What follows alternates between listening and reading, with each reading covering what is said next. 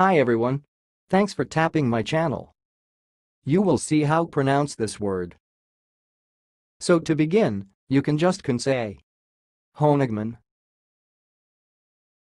Hoenigman. So I will repeat again. Hoenigman. Hoenigman. That's all, thanks for watching. If you liked this video, please subscribe to my channel. If you want to share your opinion, please leave comment for this video. Thanks and goodbye.